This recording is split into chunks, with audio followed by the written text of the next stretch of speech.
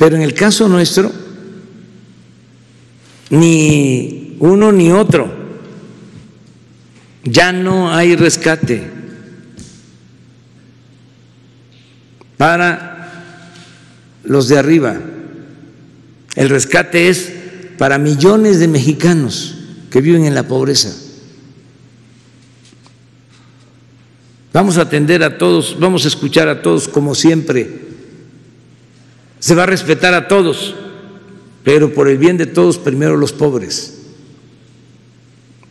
Eso es lo principal, ese eh, es el propósito básico del gobierno. Me tengo que ir, si no, ya no llego.